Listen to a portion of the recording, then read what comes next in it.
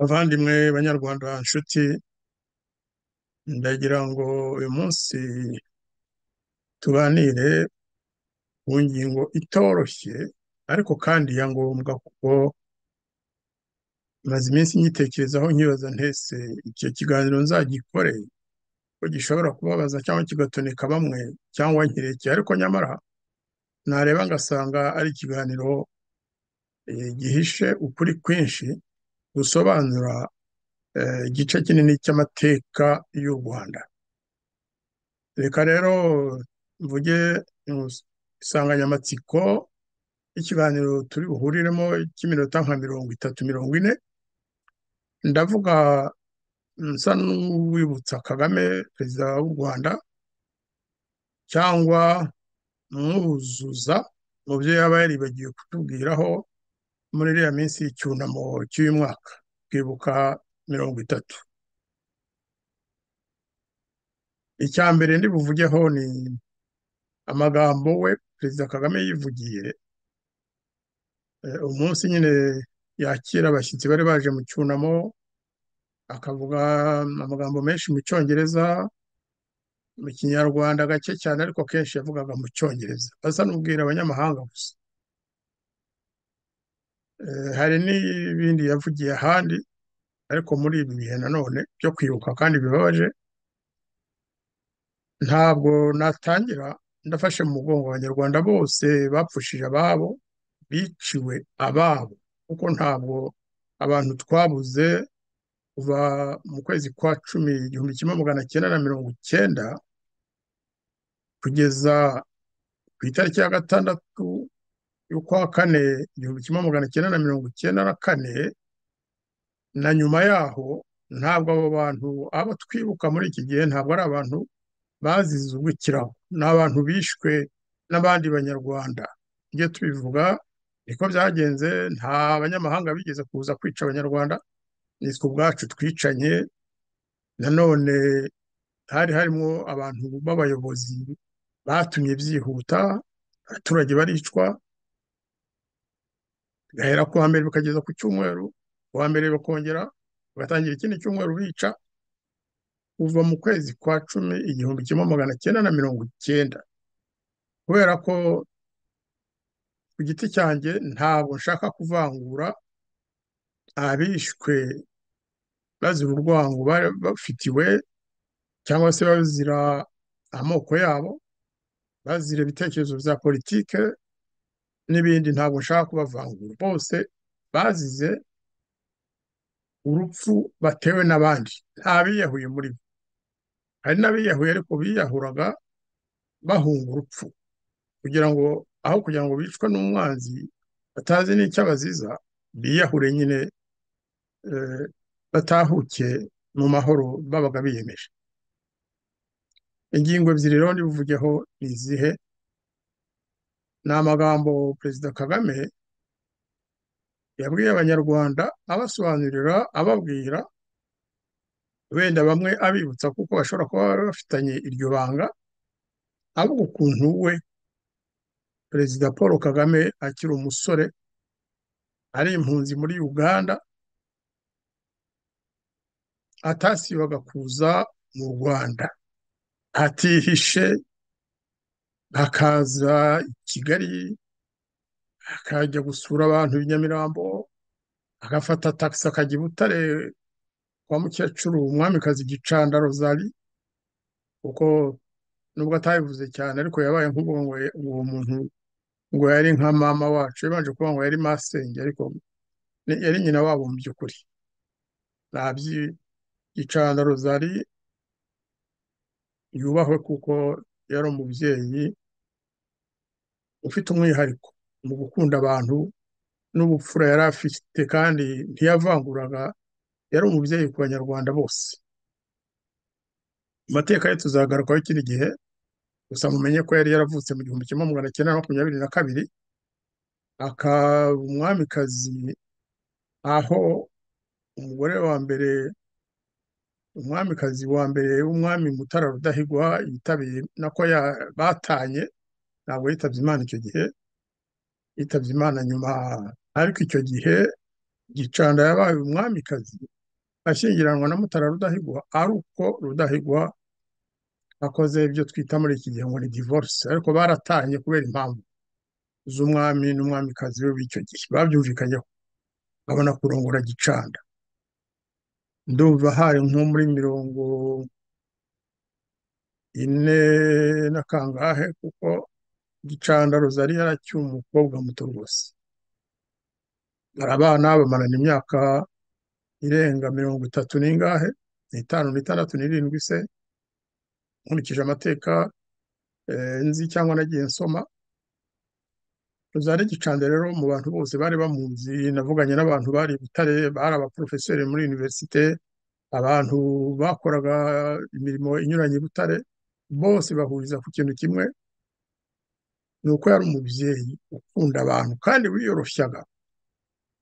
Leta y'u rwanda yari yaramuhaye inzu nk'umupfakazi w'umukozi wa leta kuko yari umwamikazi ni ho yabaga hari i butare muri iriya karitsiye usa n'ujya i kigali ariko hakurya ya stade iburyo.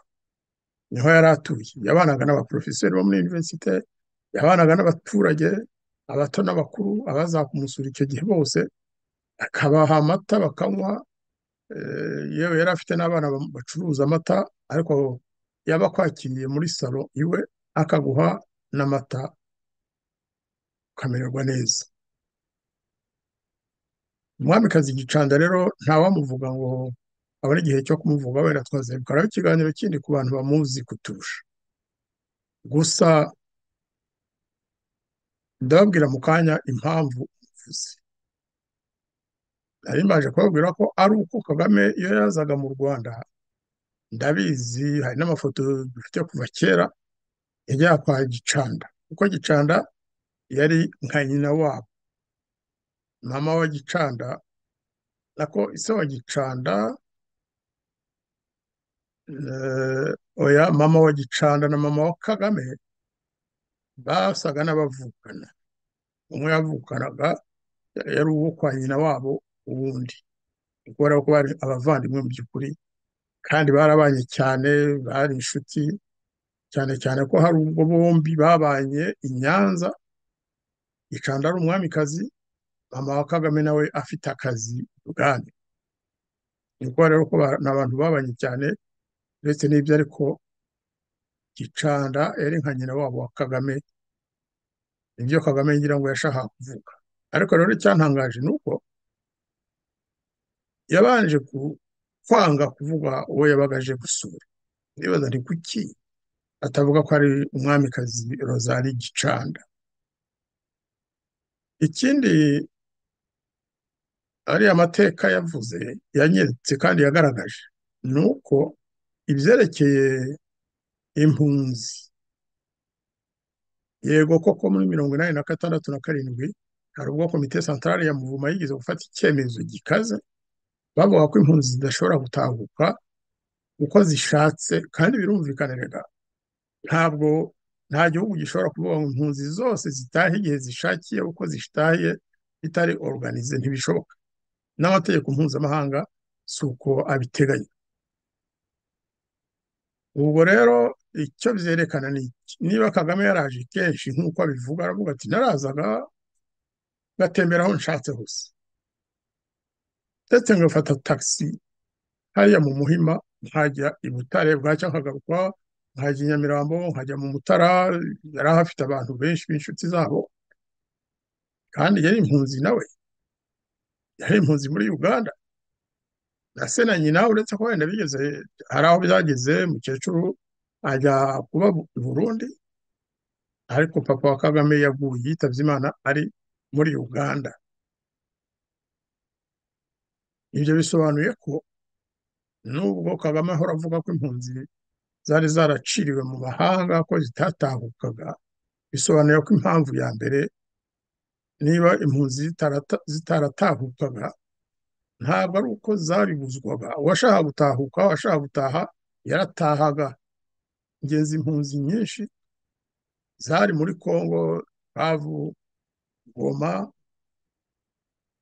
zagiye zitaha. Cyangwa se zitataha burundu. Hari impunzi zimwe zabaga nk'i Bukavu abantu b'inshuti zacu babaga ba- ba- bishyura n'imisoro muri komine Kimbo cyangwa muri ziriya komine Kamembe bagakomeza kwishyura imisoro mu Rwanda ariko batuye muri Kongo ari impunzi. Hari n'abandi bari bafite ibyangombwa by'iwacu. Bakaza kudusura bakajya gusura abaturanyi bakongera bagasubira i Bukavu ndetse bamwe bari baragumanye n'imirima yabo bakaza bagaca ibitoki bakagira bate? Bakisubirira mu gihugu bahungiyemo ariyo Kongo ya kiriya gihe Zaire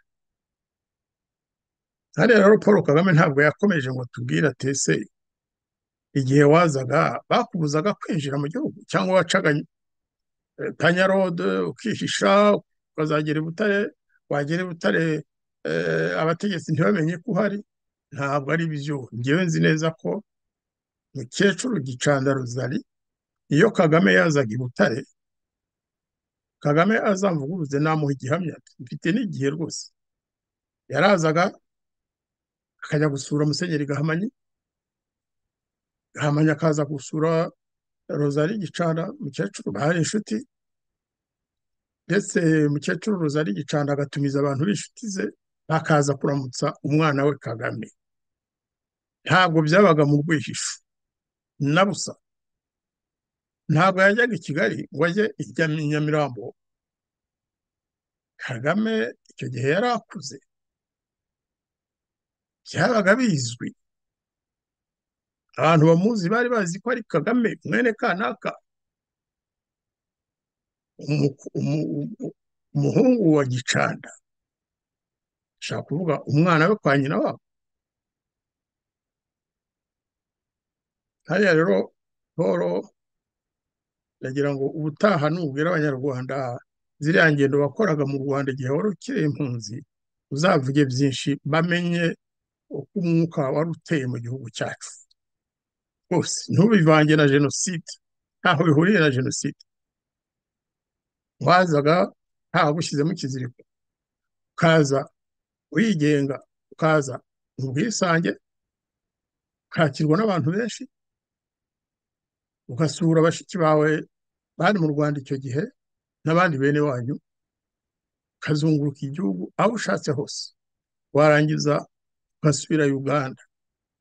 Wenda umuntu yanavuga ati kubera ko ubwa nyuma wavuze ko waje mu Rwanda wari ukuze wari ufite nk'imyaka cumi n'umunani se cumi n'icyenda ugomba kuba warazaga uje no kuneka kuko wari waratangiye kuneka. Ubwa nyuma uva mu Rwanda wagiye direct mu gisirikare cyo kujya kurwanya Obote. Amatariki nabaye nk'uyasuzuma nsanga ari cyo gihe wagendeye mu ntambara yo kuvanaho Obote. Ni ukuvuga rero ko icyo gihe wazaga mu Rwanda ukagenda mu matagisi ukageza Nyamirambo gusura abantu eh, mwari mufitanye umubano cyangwa se eh, mufite icyo mupfana ushobora kuba wari waratangiye gukora bya bindi Tito Rutaremara yatubwiye. Byo gushyiraho za selule za FPR icyo gihe yitwaga RANU. Muri mirongo inani na karindwi RANU yariho ndakeka ariko reka ibyo wenda tu tubiveho tu- tujye ku yindi histoire ya kabiri. Andi mateka wavuze yawe personal. Ariko iyo ya mbere turaza kwigarukaho. Mfite byinshi nyibaza uriya munsi w'icyunamo kandi ndakwihanganishije rwose kubera ko iyi nkuru ikureba ku giti cyawe personnel wavuze njye bwari ubwa mbere nyumva. Utubwira ukuntu mushiki wawe Florence Ngirumpatse yishwe. Kandi we wari utegereje ko minuwari ya Dareri ijya kumutabara ikamukiza. Ntibyashobotse sinyigarukaho cyane kuko eh, habaye urubanza uwo wavuze ngo yaramwicishije cyangwa yaramwishe yararezwe aregwa n'urukiko mpuzamahanga araburana igihe kitari gike baratsinda icyaha bakimuhanaguraho. Gushaka rero gukomeza kumutsindagiraho icyaha urukiko mpuzamahanga rwamuhanaguyeho bigaragaza ko mu by'ukuri ntabwo wubaha izina rya Florence. Nyirumpatse uramwitwaza ukanabeshyera uwahanaguweho icyaha cyo kwica mushiki wawe.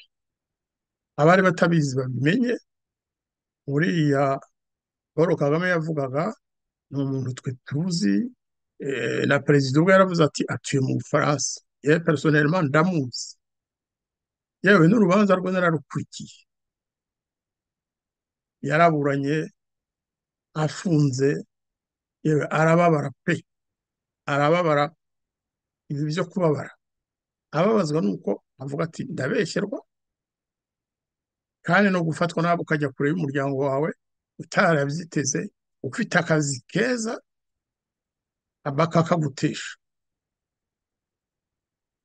abatari babizi rero babimenye ko uriya mugabo paul kagame ni we uzavuga izina rye ngewe sinshaka kugaruka ku mazina y'abantu iby'imanza sinkunda kubigarukaho. Uwo bashatse kuburanya baramuburanya bakamubeshyera. Yagira imana agatsinda ushaka kuburana bakanga ko aburana ati atazadutsinda ibyo ni ibintu tumenyereye. Ariko ku byerekeye rero florence florence benshi twari tumuzi yakoraga muri pnud ni byo. Yakoraga muri pnud ngewe nkora muri minifope. Muri minifope rero ni ho twatangiraga na icyo twitaga fiche de plasma n'abakoraga muri loni n'ahandi hose. Twabahaga impapuro zo kugira ngo bakore aho babaga batsindiye. Nta muntu wigeze abuza florence kujya gukora muri pnud. Ibyo na byo bimenyekane ni muri iriya periyode ngewe nari muri minifope navuye muri minifope muri mirongo inani na gatandatu. Florence yari muri pnud ubwo rero wenda nkaba ndekeye aho kuvuga ibyo bya florence ariko ndabigarukaho na byo reka duhere kuri mukecuru gicanda. Nk'uko muri bubibone kuri titire y'iki kiganiro ni we nashyize imbere kuko arabikwiye.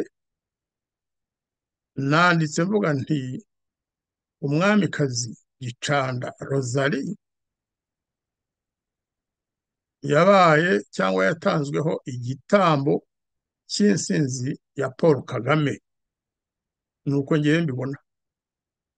Ni ni inkuru maze imyaka myinshi nkurikira narayikurikiranye nakozeho ankete nakoze ingendo nkava mu bufaransa nkajya mu bubirigi nkajya muri horande ku bantu nakeka ko bafite amateka ya mukecuru gicanda ubufaransa ni bunini nabwo nkava muri umujyi wanjye nkajya ahandi ngenda maze ntariko uriya mukecuru inyamaswa zamwishe zikamwambura ubuzima zari zabaye iki? Zari zikiri abantu. Abantu bishe umwamikazi gicanda. Ntabwo ari we bahemukiye. Gicanda we n'ubundi yari umuntu yari kuzitaba imana akigendera mu mahoro yari umupfakazi w'umwami mutara rudahigwa. Abanyarwanda baramukundaga cyane uriya mukecuru yakwigendera gicanda yari umukecuru umubyeyi ukunzwe cyane. Namwita umubyeyi nubwo nta mwana yagiraga ariko yari umubyeyi w'abanyarwanda bose. Abantu rero bamwishe akazi kanjye si ukubavuga amazina ko ntabazi ariko barahari kuko urupfu yapfuye turaruzi twese. Yifashe bunyamaswa bambura umukecuru ubuzima ntacyo abatwaye. Ariko noneho nkibaza ko paul kagame aho avuga urupfu rwa florence ngirumpatse ko avuga ko yahamagaraga dareri generali dareri umunyakanada wayoboraga minuwari we yamuhamagaraga buri munsi atabaza. Amubwira ati mfite mushiki wanjye.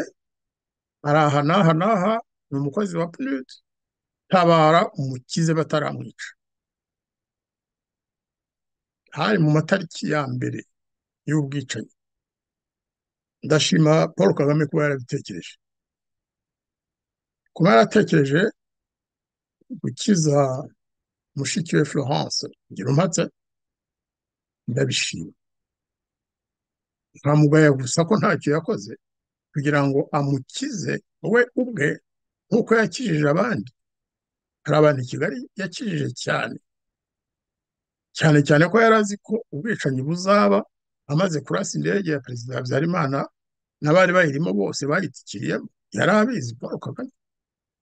Kuko butaracya indege yarashwe hagati ya saa mbiri za nimugoroba na saa mbiri n'igice. Abasirikare ba fpr ibyo ni ubuhamya twahawe n'abantu benshi b'abasirikari bari mu gisirikare cya fpr baba ofisiye baba ofisiye ariko abantu bazi uko byagenze. Igisirikare cya fpr cyari kuri standby. Ni ukuvuga ko cyari cyamaze kwitegura gutera. Nk'uko byagenze rero. Barateye bava aho bari bakambitse mu majyaruguru y'igihugu baza bihuta. Ibyo bavuga ngo bagenzwaga no kuza guhagarika ubwicanyi barabeshya barabeshya. Ahubwo bari bari kwica abaturage ruguru batsembatsemba. Abanyarwanda cyane cyane abo mu bwoko bw'abahutu ibyo ngibyo tubifitiye za raporo. Ariko banavuga bati babwira abasirikare bo bati muramenye. Ntabwo mujyanywe no kujya guhagarika ubwicanyi bukorerwa abatutsi. Aha turi abasigaye inyuma twe turi gukora akazi. Muzi mwese ibarwa majoro furuma yamwandikiye turayifite twese. Adusobanurira ukuntu kagame yari yarabateranyije arababwira ati rero ikitugenza ni ugufata ubutegetsi. Ariko hagati aho furuma ntabwo yari umusirikare woroshye yari majoro kiriya gihe umuntu wari majoro yabaga afite garade urebye nk'iya kagame. Kandi yari umuntu wize wari umwarimu. Mu ishuri rikuru rya ideoloji y'igikotanyi. Niyo watubwiye arabyandika biranditse ntabwo ari amagambo ati kagame wowe kagame kuko yandikiraga paul kagame. Wibuke igihe wadukoresheje inama ukatubwira ko tugomba kugabanya umubare w'abahutu uko dushoboye kose. Ugashyiraho na timu yo gukontorora ngo murebe ko biri kugenda neza. Akavuga ukuntu babigenzaga akavuga tekinike bakoreshaga zo gutsemba abahutu no kugabanya umubare wabo ubu ni furuma n'ibindi byinshi. Reka tubivemo kuko ibyo tuzabivuga mu minsi iri imbere uyu munsi ndashaka kuvuga ibya gicanda mwamikazi. Ubwo rero igihe wahamagaraga dareri utabariza florence ngirumpatse mushiki wawe ni byiza turabishimye nabivuze. Ariko hari abandi benshi utigeze utabariza. Umuntu yakwibaza umukecuru? Umwamikazi gicanda. Agomba kuba yarishwe nko mu matariki ya mu ba mbere. I butare kuko byatangiye bitinze ubwicanyi bwatangiye butinze. Agomba kuba yarishwe nko mu matariki ya cumi na karindwi cumi n'umunani aho ngaho mbese kuko hari abantu benshi nta nubwo yakekaga ko bashobora kumwica. Icyo gituma navuze ntigishwe n'inyamaswa. Abantu badatekereza abantu bashaka kwica gusa. Bazavugeho ko bishe umwamikazi.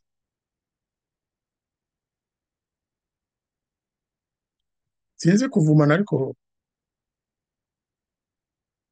ubwabo barivumye. N'abandi bose bishe abaturage b'abanyarwanda. Haba ku butaka bwacungwaga na guverinoma y'u rwanda hapfuye abantu benshi bo mu moko yose haba ku butaka bacungwaga na fpr inkotanyi. Kuva muri mirongo icyenda basogota bica bamanika barasa. Nabyo biri muri ya raporo ya furuma n'izindi nyinshi. Na igitabo cya eh, Abdul Rusibiza eh, n'abandi benshi banditse ibitabo. Nkabaza rero paul kagame nti kuki utabwiye abanyarwanda? Yego wenda florence mushobora kuba mwari mwegeranye kubera ko nubwo wamurutaga mu myaka ariko burya umuntu na mushiki we kwa nyina wabo cyangwa kwa se wabo baba begeranye cyangwa banafitanye ubwumvikane. Birashoboka. Ariko noneho nkubaze ni kuki utajya utubwira cyangwa utatubwiye waba waragerageje no gutabariza umwamikazi gicanda. Niba warafashe telefone ugahamagara general dallaire uti mbabarira utabare mushiki wanjye. Wari unaniwe gukoresha iyo telefone ngo umubwire uti mama wacu Rosalie Gicanda ari i Butare Dallaire yari ahazi nzi neza ko abantu bo muri minuwari bajyaga bajya kumusura ndabizi. Kuki utafashe telefone ngo uhamagare Dallaire umusobanurire. Ko mukecuru yishwe mu matariki hashize iminsi irenga icumi ubwicanyi butangiye. Ni kuki utahamagaye Dallaire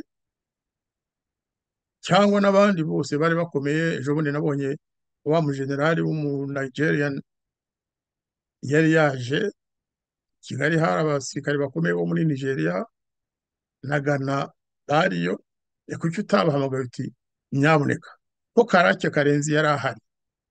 Ko yari afite ubushobozi bwose. Mu gihe indege yari itaragwa twari ko muvuga igihe mwari mutararasa indege ya perezida ngo mumwiciremo we na perezida w'u Burundi Cyprien Ntaryamira. Ni kuki utatekereje uti mama wacu nitutitonda baramwica. Ariko ntabwo wari ubifite mu gitekerezo na busa impamvu ni iyihe rero? Niho nshaka nanone kukwibutsa wowe. Kukwibutsa abandi wenda ntibabizi ariko hari n'abandi benshi babizi. Njyewe nakoze ikintu kimeze nk- nka ankete nakoze ubushakashatsi uru rupfu rw'umwamikazi Gicanda. Mbere y'uko FPR irasa indege ya perezida Habyarimana ikamwica n'abo bari hamwe bose mu ndege na perezida Cyprien Ntaryamira hari akandi kaganiro nzabaha gatoya eh, mvuga ibyo nabonye ku itariki ya kane na gatanu kugeza ku ya gatandatu igihumbi kimwe magana cyenda na mirongo icyenda na kane ngewe ku bwanjye ndi i Paris. Ariko nanone gisobanura ukuntu mu Rwanda hari hameze. Mwibuke ko muri mirongo icyenda na gatatu burya habaye ibintu byinshi cyane byatumaga umuntu yakeka ko hagize ukoma imbarutso amaraso yameneka. Mwibuke ukuntu bishe Emmanuel Gapyisi niyo nkunda guhera kuko urupfu rwe nararukurikiye neza kandi twari inshuti ukuntu yapfuye ndabizi n'ababikoze baje kubivuga bati nitwe twamwishe. Emmanuel kugira ngo du- dukreye confusion kugira ngo bakeke ko ari Habyarimana perezida wamwishe kubera ko ari umukwe wa Kayibanda kubera kandi ko atemera byose byari ibihimbano ndetse mwebwe mukora n'ibishoboka byose kugira ngo na premier ministre wo muri mirongo icyenda na kane Faustin Twagiramungu icyo gihe ari perezida wa MDR kugira ngo nawe mumushyiremo. Gapyisi nimwe mwamwishe ntabwo mushobora kubihakana n'amazina y'abamwishe ba- ba- bamurasiye imbere y'amarembo ye barazwi. Reka tubiveho ibyo ngibyo. N'abandi benshi bagiye bicwa uwo mwaka. Kugera muri mirongo icyenda na kane ba Gatabazi n'abandi abanyapolitike ari Gatabazi ari Bucyana ari n'abandi bapfuye muri iriya minsi. Ni ukuvuga rero ko bwana kagame wari uzi neza ko umwamikazi niba habaye ubwicanyi bushobora kuba bwibasira abo mu bwoko bw'umwamikazi gicanda rozari nawe yashobora kubigwamo ariko kubera ko twe twese n'abandi bose bari bamuzi bavugaga bati leta izamucunga umutekano we ntacyo uzaba nizeye ko nawe batari uko wabibonaga. Si uko wabibonaga kuko ahubwo ni wowe watumye yishyira niko nabyita. Abo bicanyi bamwambuye ubuzima. Muti byagenze biti mu byumweru by'imbere y'iraswa ry'indege ntabwo navuga umunsi nyawo neza neza ariko abawuzi barawuzi kuko nibo babimbwiye simbavuga amazina kuko bashobora kugira ibibazo wenda na leta ya fpr n'ubwo umwe muri bo yari fpr inkotanyi ariko ari burayi icyo gihe undi nawe akaba ntacyo yapfaga na fpr by'umwihariko. Bari mu bubirigi mu bubirigi kubera iki? Kubera ko umwamikazi gicanda rozari nawe ni ho yari ari yaraje kwivuza. Murabona ko muri mirongo icyenda na kane umuntu wavutse mu gihumbi kimwe magana cyenda makumyabiri na kabiri ntabwo yari akiri muto cyane. Yari atangiye kujya agira uturwara n'abato bararwara n'abato bararwara. Kandi yari umwamikazi leta imwubahiriza y'u rwanda. Ababirigi bamuha viza mu buryo bworoshye nta cyagomba rero kumubuza kuza kwivuza. Kandi yahasangaga umwana we niko nabivuga mushiki wa paul kagame witwa kati. Kati yabaga mu buriri icyo gihe. Sinzi igihe yari ahamaze sinzi icyo yahakoraga ariko ni ho yari atuye. Iyo mukecuru rero umwamikazi gicanda yajyaga mu buriri yacumbikaga aho ngaho kati ni we wamwitagaho ni we wamufatiraga za randevu zo kwivuza ni we washakaga abaganga mbese kugira ngo bakurikire ubuzima n'indwara z'umwamikazi. Noneho biza kugeraho viza irarangira kuko yari atarakira neza. Viza irarangira kati atangira kumushakira indi viza kugira ngo yongere igihe. Abo ngabo rero bampaye ubwo buhamya ibyo bambwiye byabaye bahari. Bahari. Byagenze bite icyo gihe bagiye kumva bumva paul kagame wayoboraga fpr nyine urumva ni ni hafi ni hafi y'ubwicanyi bugiye gutangira mbese bagiye kurasa indege ya perezida habyarimana. Kagame aratelefona avugana na mushiki we. Ati kati ati ibintu ndi kumva ni ibiki? Ngo umukecuru ngo murashaka kumushakira indi viza agume mu we ati ni byo kuko ntabwo arakira neza. Kandi hari abantu bari tayari kuba bamufasha abanyarwanda benshi barifuza kumufasha kugira ngo avurwe neza atahe ari uko ibintu bimeze neza. Muri icyo gihe mu rwanda hari hashyushye. Hari hashyushye cyane ngenda byibuka kuko hari umuntu wo muri famiye yanjye wari wapfushije nyina mu rwanda. Hari i kigali. Hari hagati y'ukwezi kwa gatatu. Nko mu kwezi matariki ya makumyabiri cyangwa muri ayo matariki noneho ajya mu rwanda gushyingura umubyeyi we. Yari ahafite abandi bo mu muryango bari bamutegereje aragenda umubyeyi we baramushyingura ariko bigeze mu matariki ya ukwezi kwa gatatu kwenda kurangira njyewe nkumva bavuga ibintu byinshi muri kigali umuntu muvuganye wese akakubwira ati ibintu ntabwo bimeze neza hari n'umuntu w'inshuti tweza kuganira arambwira ati tutamikura. Tutamiponona. Ndavuga mutatu ubona pourquoi? Tuzi- turabarya turabica. Ndabaza nti muratuziza iki se ati yari umuntu ukomoka muri Katanga arambwira ati mwebwe abantu bo muri opozisiyo ibintu muri gukora turabona ibintu bimeze nabi. Nahise mbyumva.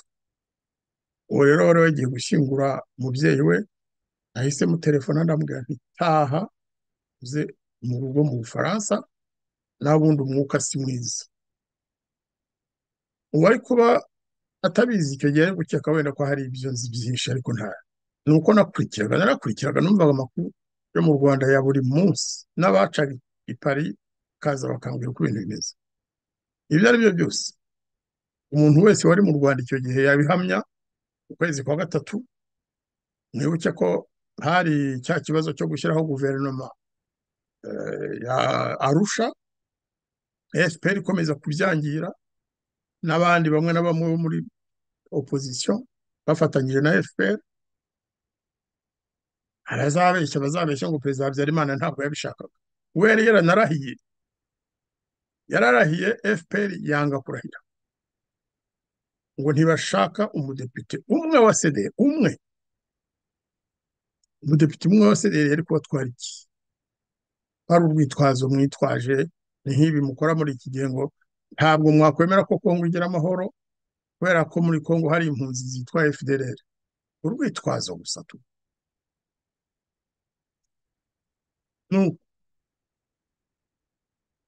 Kati rero mushiki wa Kagame barakomeza baraganira nyabuneka waretse eh, umukecuru akaguma hano tukamuvuza.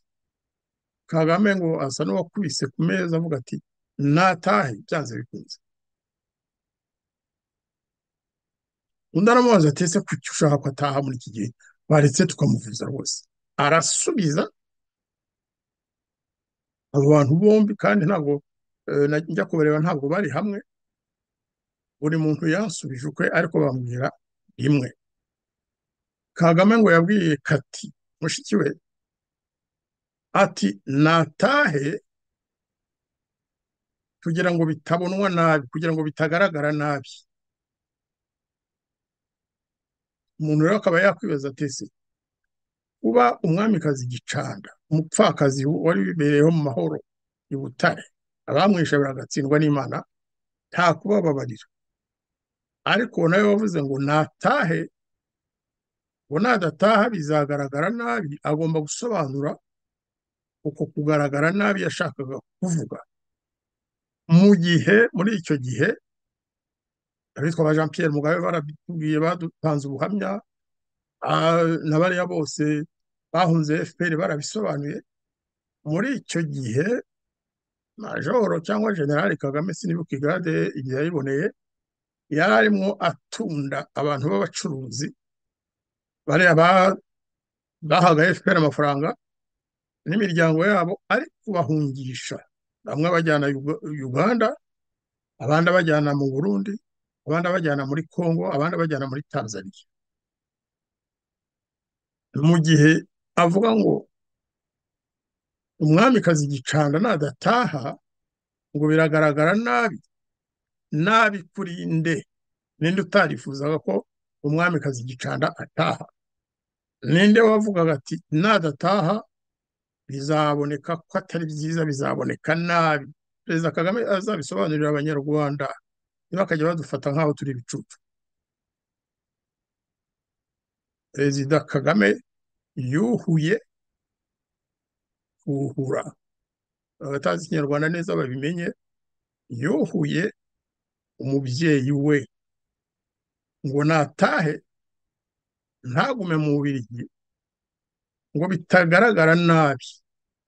Kandi azi ko mu Rwanda hari umwuka mubi azi n'icyo agiye gukora azi ko agiye gukora ishyano akarasa indege ya perezida Habyarimana. Azi ko bizakurikirwa n'ubwicanyi. Ikimenyimenyi ni uko arasa indege ya perezida Habyarimana mu ma saa mbiri abasirikare be bose bose bose kuva umupaka wa Byumba ujya Uganda kugera kuri zone bitaga zone neutre cyangwa aho umupaka FPR yari yarafashe wagarukiraga abasirikari bose bari muri standby ku majanja bategereje kuza gusogota abanyarwanda no kurwana n'abafaru kugira ngo bafate ubutegetsi mu gihe yatabarizaga florence ngirumpatse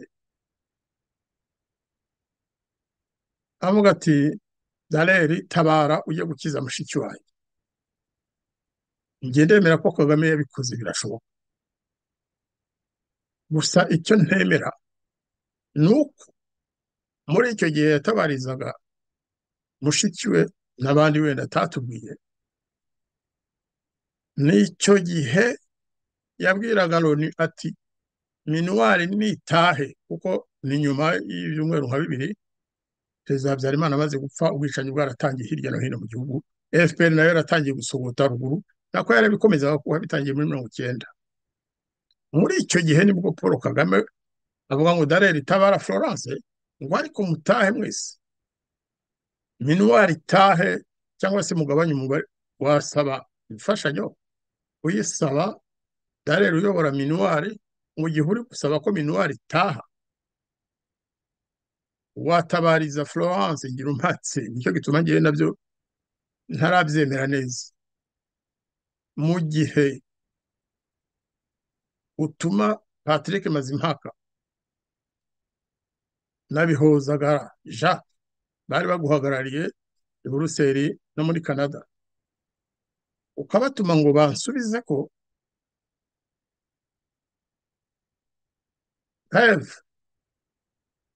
ni ukuvuga igihe cyo kuba intambara ihagaze. Ngo ntibishoboka ngo turakomeza turwane kuko abo batutsi muvuga ko bari kwicwa si abacu. Twebwe abacu ni impunzi. Ni abatutsi b'impunzi ziri muri uganda kongo burundi tanzania n'ahandi. Ntabwo ari abo mu rwanda kuko abo bo mu rwanda bakorera habyarimana bakoreye habyarimana bakoreye kayibanda mu gihe twari impunzi. Ariko ugaca inyuma ukajya gutabariza mushiki wawe kandi abandi bari gutikizwa. Aho ngaho ukwiye kuzahasobanura.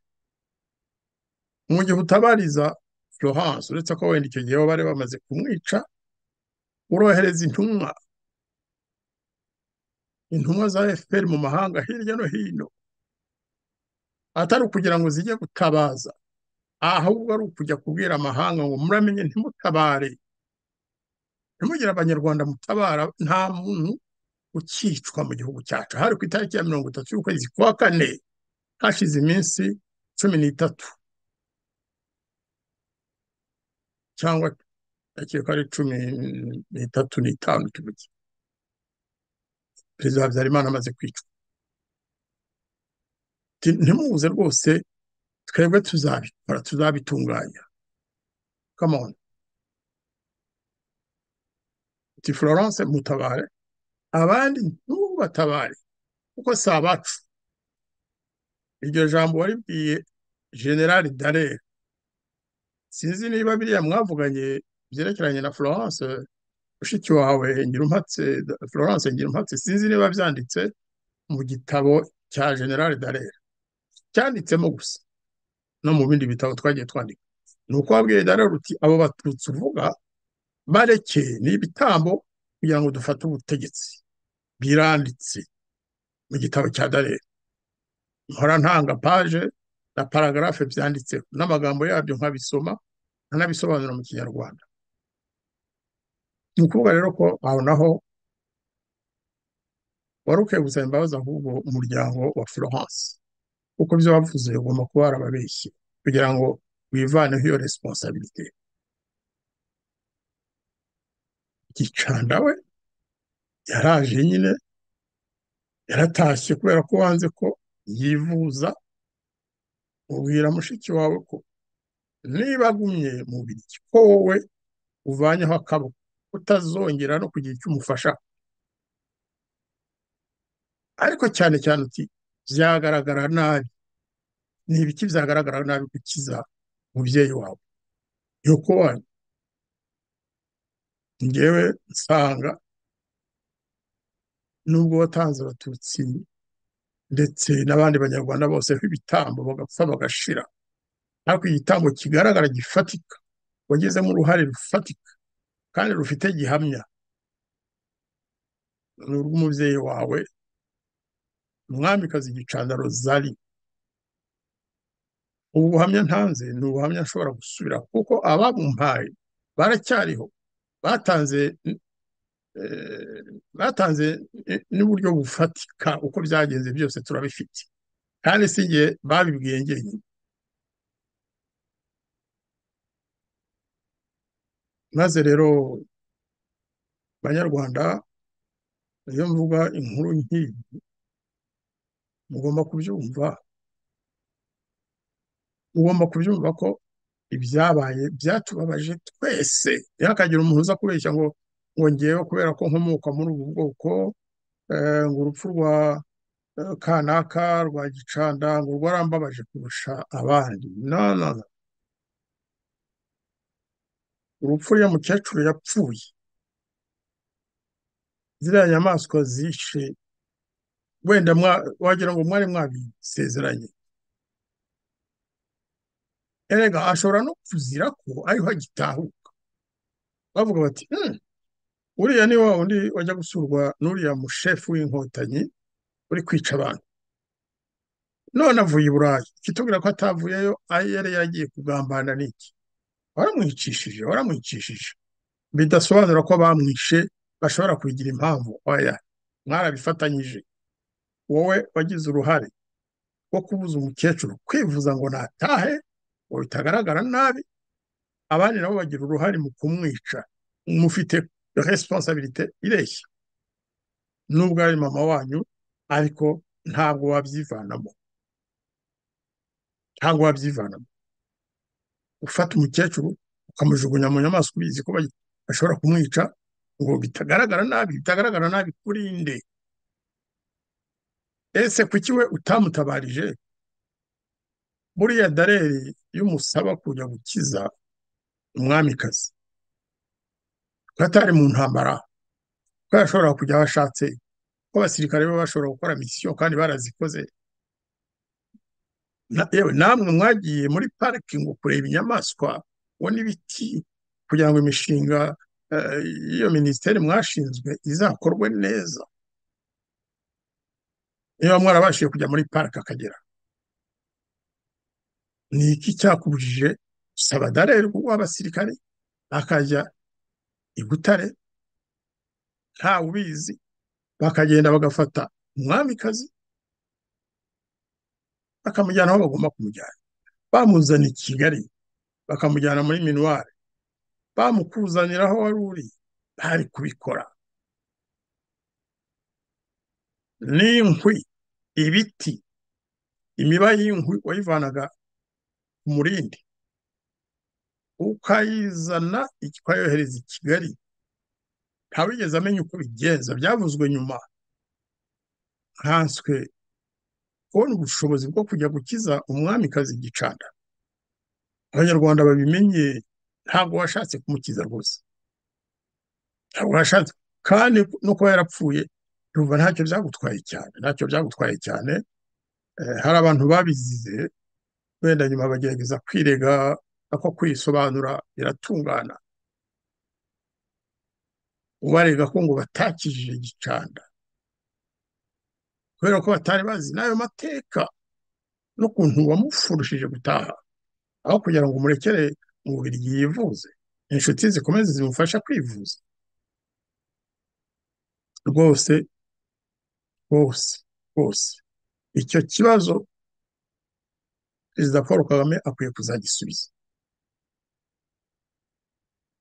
Ubwo rero wenda iyi nkuru kuko ntawayivuga ngo ayirangize.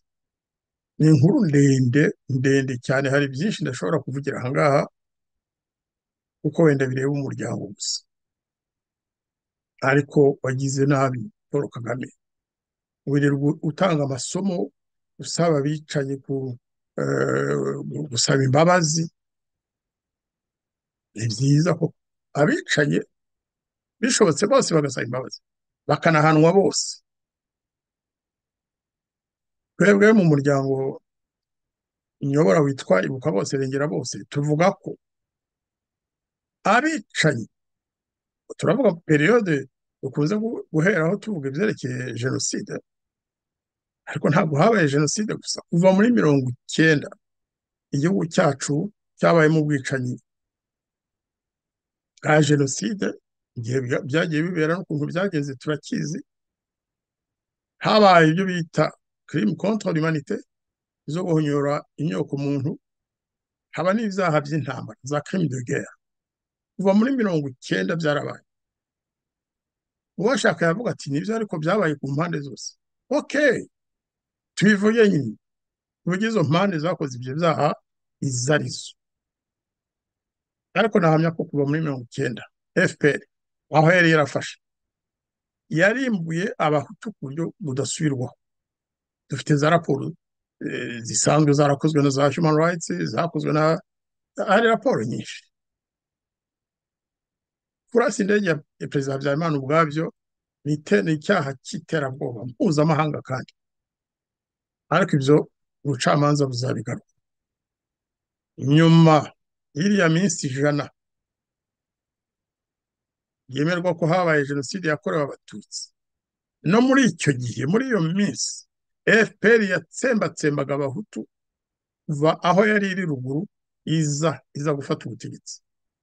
Nicyo twe twita jenoside yakorewe abahutu haba muri ibuka bose rengera bose ariko cyane cyane mu muryango weguwe witwa waguye nako witwa rwanda bridge builders. Abubatsi bitemera ihuza abanyarwanda. Twe twemeza ko n'icyo gihe kuko u rwanda ntabwo rwanditswe mu minsi ijana gusa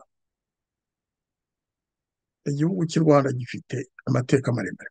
Abashaka kubijyana n'ikindi gihe nababwira iki? Twe tuvuga igihe kiriya ntambara kirimbuzi yatangiye mu kwezi kwa cumi igihumbi kimwe magana cyenda na mirongo icyenda. Abahutu n'abatutsi barishwe mu mpande zinyuranye. Cyane cyane ko fpr yavugaga ko ije kurengera abatutsi abandi nabo bicaga abatutsi bakavuga ati turica abatutsi kubera ko bakorana na fpr twebwe turarengera abahutu tugomba kujya tubivuga rega. Nta soni biteye ko twe tutabikoze tubivuga. Ariko bigomba kuba kuri bose. Abishe abahutu kuva muri mirongo icyenda kugeza uyu munsi bagakurikiranwa bagahanwa ababishoboye bagasaba imbabazi. Abishe abatutsi bagakurikiranwa bakamenyekana bagasaba imbabazi bishobotse bagahanwa ariko ababishoboye nako ni ngombwa ko basaba imbabazi. Umuntu ni nkundi amaraso yacu twese aratukura. Nicyo gituma tunasaba dukomeje gusaba ko muri iyi minsi icyunamo icyunamo cya bose cya twese abiciwe ababo bose n'abatariciwe ababo ariko babonye ibyabaye. Nabo bose bagahabwa uburenganzira bureshya bwo kwibuka ababo hari aho nabonye ku munsi w'icyunamo perezida kagame avuga ngo ngo nta gihugu gishobora kwiyunga kitarimo ubutabera kitarimo kureshyeshya abaturage. Aho ngaho rwose n'ibiganiro byinshi kugira ngo tubigarukeho kuko ntabwo perezida kagame azakomeza kujya dufata nk'ibicucu. Irazwa abanyarwanda bose barabizi ko muri iki gihe abo mu bwoko bw'abahutu kugira ngo bibuke ababo bagomba kwihisha ntabwo mubibemerera. Aho mwiciye ababyeyi byumba ndavuga mbere ya mirongo icyenda na kane ibyumba ruhengeri n'ahandi igice cya kibungo b'abahutu aho mwiciye inshuti aho mwiciye umuryango bagomba kwihisha iyo bashaka kwibuka ababo cyangwa kubagaragariza agaciro n'urukundo babafitiye. Kwihisha. Kwibuka muri iki gihe ni iby'abatutsi gusa. Nabo ntabwo ari bose kuko hari abatutsi mwiciye ababo badafite uburenganzira bwo kwibuka. Sinavuga benshi ariko karasira wenyine ni urugero ruhagije kugira ngo abantu bumve ikibazo kiri mu rwanda.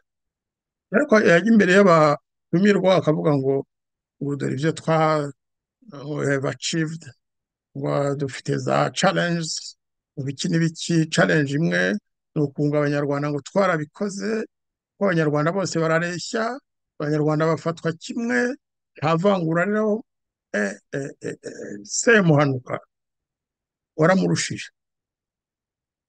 Mu rwanda hari ivangura rikomeye cyane z'amoko menshi. Sinibuka ukuntu barafinda ajya abivuga ariko mu rwanda hari ivangura rikomeye cyane.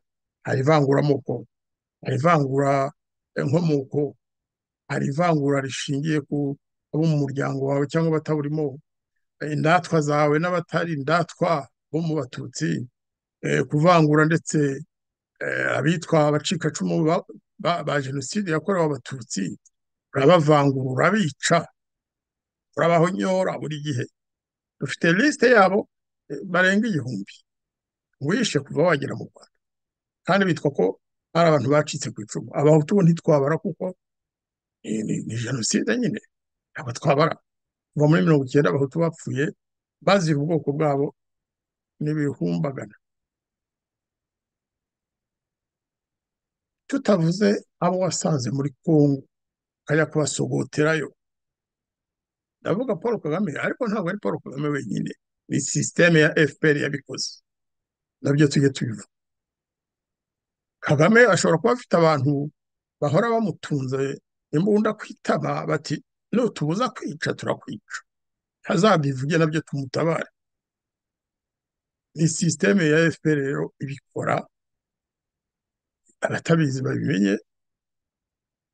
Ariko ikintu gikomeye tugomba kwiyemeza twese ni ukujya tuvuga ukuri. Gutanga ubuhamya ni cyo cya mbere. Gutanga ubuhamya narrative. Iriya narrative yo guhera amateka y'u rwanda ku itariki ya karindwi y'ukwa kane muri mirongo icyenda na kane iriya ntayitikisi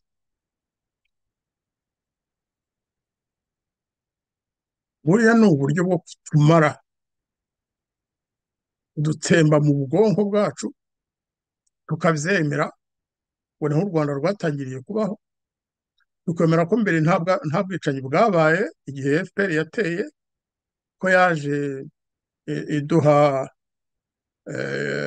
a- amawuwa niko njye byita mu kinyarwanda babyita imbuto ahari cyangwa iki? Njye mbyita amawuwa sont des fleurs. Iwacu kenshi niko tubyita. Ntabwo fpr yaje yitwaje amawuwa yaje ifite intwaro imbunda ibyuma bayonete utundoyi n'ibindi byose. Abanyarwanda bamenye ko ubwicanyi butatangiye ku itariki ya karindwi ukwa kane mirongo icyenda na kane. Uh-uh. bwari bumaze imyaka itatu n'igice fpr imara abantu aho yari yarafashe hose. Natanga urugero. Kuko nakoze ubushakashatsi.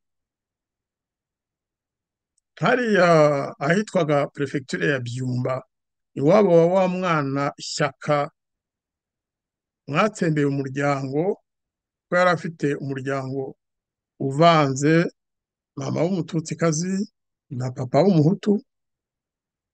Yavuze ko umuryango wo kwa se mwawishe mukawurangiza. Kubera ko bari abahutu mwaragiye murayura mubajyana ahantu bose murica mubatwikiramo murarasa umuryango ura- urazimira. Ariko ko uwo ni urugero rumwe kubera ko uriya mwana yafashe kuraje yose aravuga ati ndabivuga ninshaka mfe. Byaramuboreyemo aragenda yisunga karasira barabivuga. Barabivuga. Ariko ikindi namenye kubera ko burya ibyaberaga ibyumba hari abanyarwanda benshi batari babizi.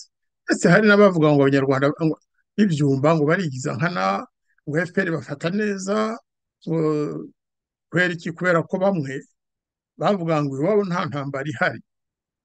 Ngo ibyumba hazabe cyakabaye ariko icyo fpr yakoze. Igice kimwe nibuka ngewe eh, kuko na- nafashe nyine igihe cyo kujya kubaza ba nyir'ubwite abanyabyumba. Barabona bariya bantu bari abasirikari abasirikare b'abanyabyumba ba ofisiye ba suza ofisiye bari i kigali. Abandi bari mu ntambara barwana hamwe n'abandi banyarwanda. Hari abafongisiyoneri bakomeye bari abadiregiteri abadiregiteri generali abasekereteri generali abaminisitiri b'abanyabyumba. Fpr yaragiye na mbere ya mirongo icyenda na kane. Imiryango yayo irayitsemba. Ndavuganye na bamwe rwose. No muri mirongo icyenda na kane igihe abatutsi bicwaga uruhande rundi fpr yaragiye irarimarima reka ntange urugero rumwe rw'umugabo nshima kuko yampaye uruhushya rwo kubivuga. Bwana james gasana wigeze kuba minisitiri w'ubuhinzi ariko akaza kuba na minisitiri w'ingabo mu rwanda. Ndumva yaravuye ku minisitiri bw'ingabo hari mu kwezi kwa cumi mirongo icyenda na gatatu. Muri ayo mezi fpr yagiye muri famiye ye irabica. Uwo yigirijeho nkana ni mama we umubyara umukecuru. Mutekereze umuntu wari mama wa gasana james? Gasana icyo gihe ntabwo ari umwana yari afite imyaka irenga mirongo ine wenda muri za mirongo ine n'itanu simbizi umukecuru baragiye baramufata baramurasa bamutera za bayonete barabaga baratematema. Ngewe nasabye gasana uruhushya rwo kubivuga arambwira ati ko byabaye se? Tugomba kujya tubivuga. Uwo ni umwe ariko hari abandi mperutse kumva ikiganiro cyatanzwe na Musabyimana Gaspar. Musabyimana Gaspar ubundi ntakunda kujya muri ubu buhamya bumureba atanga ubuhamya bw'abandi. Yavugira abandi banyarwanda we ntakunze kuvuga ibye ariko ejo bundi nabonye asa n'uwaturitse arabivuga ko biri kumuboreramo kuva kera aravuga ati ngewe umuryango wanjye. Fpr yaragiye irabica irabamara. Avuga agasozi ati aha n'aha hari kana kana kana kana kana kana barabishe. Hariya hari mushiki wanjye bashiki wanjye barabishe. Hariya hari hasigara wibaza utese hasigaye bande kuko akenshi ibyo dukunze kubyumva iyo bivugwa n'abatutsi bavuga ukuntu biciye imiryango yabo bafashe mu mugongo kandi ndabyemera ndumva nta bavuga ngo yariciwe abeshye. Ni ibintu byoroshye kugaragaza. Gaspar umuryango we wonyine barawumaze hasigaye abantu bake cyane. Hari n'abandi wenda ntavuga kuko batampaye uruhushya bavuga bati turacyafite bene wacu bamwe na bamwe barokotse bakiri mu rwanda babuze uko bahunga. Ntabwo rero twabivuga. Ariko mumenye ko fpr kuva muri mirongo icyenda ikintu kigaragaza ko bashaka gukora nyine jenoside cyane cyane intellectuelle kuko ni ho bahera kenshi baravuga bati reka twice. Bariya bashobora gutanga ubuhamya bakaba bavugana na za ONG bakaba bajya mu mahanga bakabivuga. Abarimu ba agoronome abo mu bucamanza abantu b'abanyabyumba bo basanze ibyumba bakoraga muri za izini abenshi barishwe n'imiryango yose yabo barayitsemba. Simvuze ba bandi biciwe mu isoko ry'ibyumba ubwo ni ubuhamya butangwa n'abasirikare ba fpr bari bahari. Cyane cyane abari ba garde du corps ba kagame icyo gihe bavuga ukuntu batumije abantu hari ibyumba nyine kuri stade. Kagame araza afata imbunda y'umwe muri abo bana aramanuka ararasa abana bavuga bati yararasaga ukabona kandi asa n'useka watanze uburyo buhamwe yaravuze ati ushaka kumenya the real nature ya kagame niyo seni nge niboneye. Arasa abaturage yikubita hasi agakomeza akarasa bamuhaye za mbunda nyine zimeze nka mitarayeze ararasa kugeza aho arambura nuko asaba n'abasirikari nabo ngo nimukomeze murase barabica baramura aho ngaho ni imbere ya mirongo icyenda na kane banza ari muri mirongo icyenda na rimwe cyangwa na kabiri ubwicanyi bwo muri sitade ya byumba. Bakatubwira ngo ibyo ntitukabivuge ngo habaye jenoside yakorewe abatutsi gusa. Oya? Ntabwo tuzareka kubivuga. Wenda muzatuzanaho abantu bafite za teori eh, zo gushaka kuducecekesha ngo ngo aho kugira ngo jenoside y'abahutu yemerwe hari uwabitubwiye. Ngo reka twemere basi ko jenoside y'abatutsi na yo itabaye ko izajya yitwa jenoside rwanda. Mujye mubyitondera abantu bababwira iyo mvugo eh, iryoshye ngo twabyita jenoside rwanda ngo kugira ngo no no no ni abantu badashaka ko jenoside y'abahutu na yo ivugwa ikemerwa. Rero ntabwo tuzabyemera. Jenoside y'abatutsi twe turayemera kuko tuzi uko byagenze. Nizere ko na kagame ayemera twe turayemera. Ariko tukongeraho ko nta munyarwanda uruta undi nta maraso aruta y'undi umuntu ni nk'undi. Amaraso y'abahutu na yo tugomba tukayazirikana. Ababishe bakabihanirwa. Ibyo tuzabikora pe. Kandi ntibitinze turi hafi. Ako kazi turi hafi kukarangiza. Nizeye ko blinken ajya kwandika iriya twiti ye yari azi aho tubigeze. Tuzabimugezaho nawe n'abandi bose bifuza kumenya ukuri kwabaye mu gihugu cyacu. Bavandimwe b'abanyarwanda nongere mbafate mu mugongo mwese mwese mwese kuko nta munyarwanda utarabuzuwe nta munyarwanda utariciwe mu muryango we. Nyakwigendera umusaza kigeri wa gatanu ndahindurwa icyo kintu yakundaga kukivuga avuga ati ariko ati mumenye ko nta munyarwanda n'umwe utariciwe mu muryango we no mu moko yose agize abanyarwanda. Ati mujye mubitekereza bizabafasha wenda kwegerana mugasasa inzobe mukiyunga mwese mufite akababaro kareshya nta witwaza ngo ngewe kubera ko nari iki n'iki? Ntabwo nagombaga kwicirwa uriya we kuba yariciwe ni uko bari benshi nta n'icyo bibatwaye oya tugerageze kugana ubwiyunge kandi tuvugane tubishaka tubikunze tureba igihugu cyacu. Tureba n'urubyiruko. Cyane cyane n'abana bacu n'abuzukuru bahazaza ejo. Ndabashimiye cyane rero kubona eh, tumaze uyu mugoroba tuganira. Ndabashimiye rwose. Nizeye ko ntabarambiye ariko kandi ikiganiro tuzagikomeza. Ejo nibinkundira nzakora ikindi ikiganiro mu kinyarwanda. Mbabwira amateka ya musenyeri gahamanyi benshi batazi. N'ibanga yampaye muri mirongo icyenda na kane tumaze iminsi tuvuye gusura perefegitura ya butare aho twari twahuriye. Habaye ibintu bikomeye cyane noneho mbere yo gutandukana kuko njye twari dusanzwe tuziranye sinavuga ngo twari inshuti kuko kuba inshuti ya musenyeri se eh, musenyeri ko yari nk'imana ariko yari umuntu nakundaga kandi nawe yarankundaga. Hari ibanga rero yambwiye rikomeye. Rishobora kuba rifite n'aho rihuriye. N'ibi nababwiye uyu munsi kuko musenyeri gahamanyi nawe ni umuntu wo kwibukwa wo guhabwa agaciro. Hari n'abandi benshi rero nzagenda mbabwiraho kugira ngo tumenye amateka yacu kandi yose ntabasigaye murakoze cyane. Basabye kumbabarira niba hari ijambo rikomeye cyangwa rikomeretsa naba navuze ariko kandi ukuri ntigukomeretsa. Ukuri ni intwaro yacu twese ukuri ntabwo tu- tugomba kudukomeretsa. Murakoze cyane. N'ejo n'ejo bundi tuzaba turi kumwe. Reka mbagezeho iyi ndirimbo eh, ibafasha gutekereza kuri ibi byabaye. Ni indirimbo y'umuryango ibuka bose irengera bose. Ishobora kuba ari ndende ariko mubishatse mwayikurikira mukumva amagambo arimwo meza kandi tugomba kujya twibuka.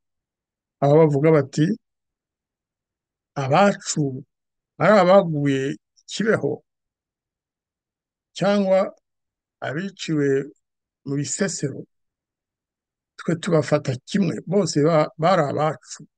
Bose ni abacu abiciwe ikibeho byumvikane ko ari abishwe n'inkotanyi abiciwe mu bisesero. Byumvikane ko akenshi baba bavuga ko bishwe n'interahamwe ariko hari n'abavuga ko FPR yabigizemo uruhare. Twibibuke bose baha agaciro kareshya murakoze cyane.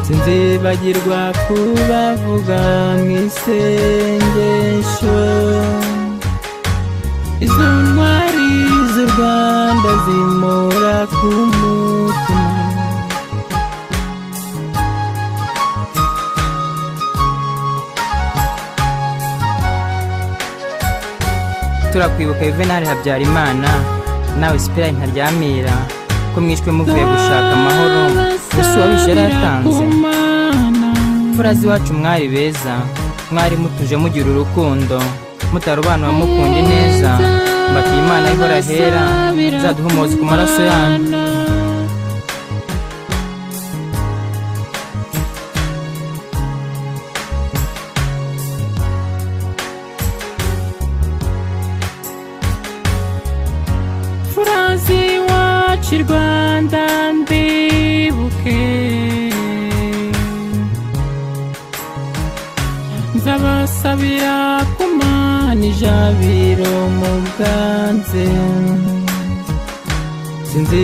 Sinzibagirwa kubavuga mu isengesho. Izo ntwari z'u rwanda zimura ku mutima. Furazi iwacu i rwanda mbibuke. Nzabasabira kumana ijabiro mu bwanzu. Sinzibagirwa kubavuga mu isengesho. Izo ntwari z'u rwanda zimura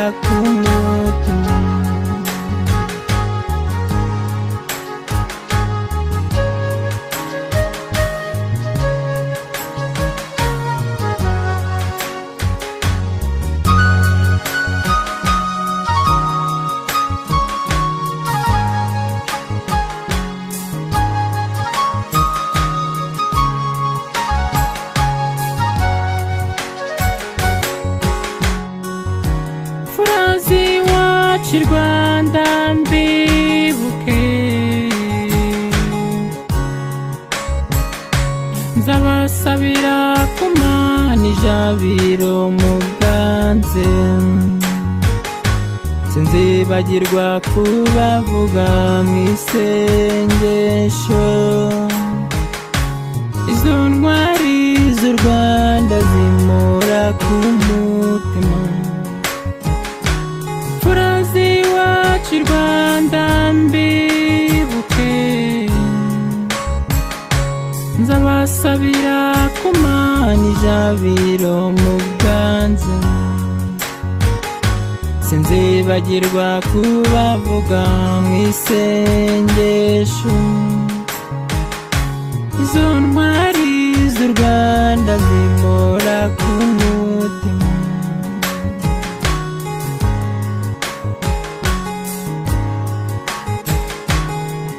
Ingabo z'igihugu zarishwe baramwishe samu bya ruhanga baramwica adamu wasa baramwica rizinde baramwica kayitare vedasite ajyana na sengati baramwica munyakazi bagere nawe aragenda baramwica musizi nyanjunga baramwica jeweni gashumba baramwica rutaro patirike baramwica katangurere wisi baramwica rwamanywa baramwicaga ba patrick baramwica mutumba sena baramwica musisi kuyaga baramwica ntaganda mbega abagome mbega ubugome. Ubu se aba nibo bari babi koko.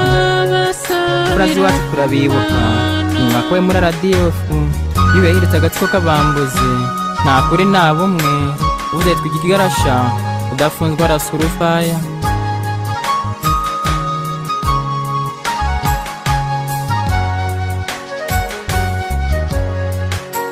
Urazi iwacu i rwanda mbibuke.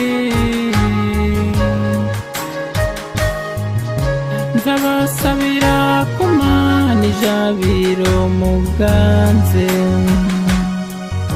Sinzibagirwa kubavuga mu isengesho izo ntwari z'u rwanda zimora ku mutima. Furazi iwacu i rwanda mbibuke. Nzabasabira kumana ijabiro mu bwanze sinzibagirwa kubavuga mu isengesho. Izo ntwari z'u rwanda zimora ku mutima